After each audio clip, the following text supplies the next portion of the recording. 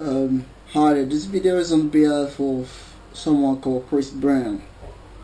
Okay, um, you went to my country lately in Africa, and um, you people fought to get you there because uh, the youth of my country loves you.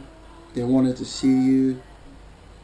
Uh, many people saved money just to go to the concert, you know, that you should have done, but you didn't do.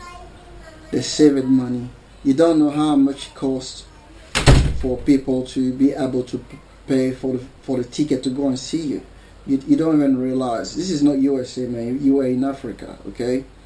First, you asked first to have a plane with a with a bed. If the plane didn't have a bed, you, you wouldn't come. So the biggest, one of the biggest music award of Africa have to be uh, rescheduled, rescheduled for you. And most of the artists that had to go there got upset, didn't go. And they pay an extra hundred thousand dollars almost to rent a jet to send it to USA to pick you up. You were inside, you came back you came to Ivory Coast that uh, at about 5 a.m. people were there to receive you. We put you in one of the best hotel hotel of the country, one of the most you know the one of the biggest hotel in West Africa. You were inside in Ivory Coast. You didn't pay anything. They looked after you.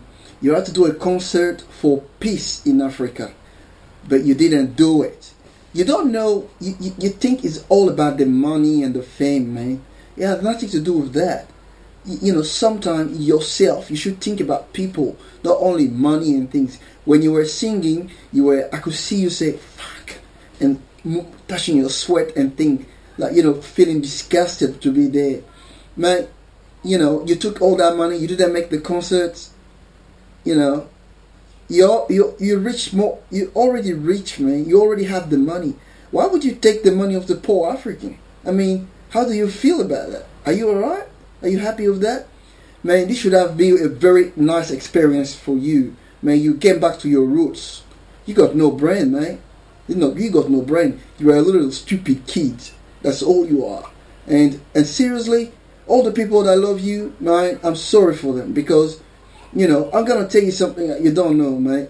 Michael Jackson went to the same country where you were and was in the same place where you were, okay, and he was happy. And Michael Jackson is 60 times you, man. Is is he will never be as big as Michael Jackson, right? But when he came to my country, he respected her and uh, us. He respected everybody. And I'm gonna tell you something, man. Michael Jackson sung sung in my country without taking any money. Okay, that was how big this guy was. Okay, and I'm gonna tell you something also.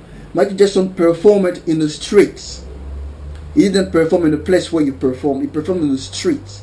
You can Google it. Michael, Michael Jackson in Ivory Coast. And you're gonna see he was dancing out outdoor, man. Okay? He respected her, man. He took himself same as us. He was sweaty. He was sick. You know, Michael Jackson, everybody knows he's sick. He was very fragile. But he did it for the people that moved, that wanted to see him, that were happy. And he didn't stop only in Ivory Coast. He went pretty much all over all the places he could go through. Chris Brown, you are a piece of shit. Okay? You are a piece of shit. You and your bitch Rihanna, you are two piece of shit. Because uh, behind the big man, they, they say there was always a big woman. And if she was a big woman, she would have tell you to fucking do what your contract say. Okay? But because you got no brain, you, you are a stupid motherfucker, so you didn't do it. And I'm gonna tell you something all the money you took there, I hope that money kill you. Okay? I hope that money is gonna kill you. I hope you're gonna get use drug you on your bitch and die with it because you took money off really really poor people. Okay? You took money off poor people. You didn't perform and you took off. You are a son of bitch. That's all I can say. Stick it in your ass.